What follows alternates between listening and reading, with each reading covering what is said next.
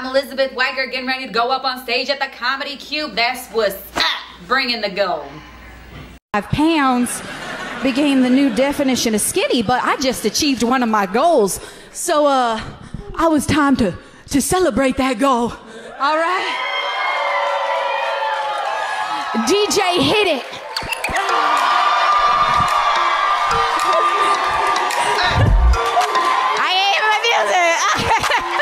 Dude,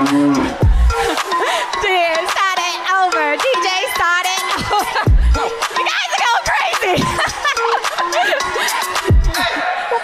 okay, DJ, I need you to start it back because this audience is too lit. I didn't hear the cue. Okay, they're crazy.